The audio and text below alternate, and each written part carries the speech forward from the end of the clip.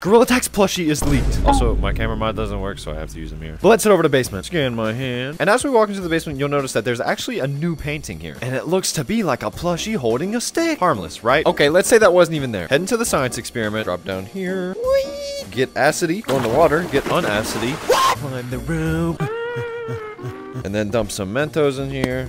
More, more. There we go. So now you want to let the acid rise just enough to where you can make it underneath the platform and into the vent. So I'll wait for it to get like uh, a little higher. Here we go. Three, two, one, and we're in. Get underneath.